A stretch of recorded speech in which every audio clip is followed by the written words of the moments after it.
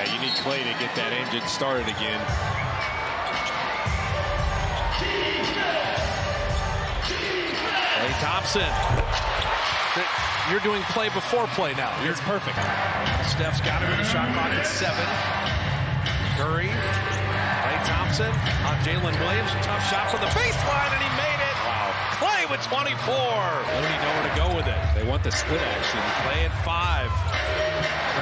Three to Klay cutting and dunking. It's perfect.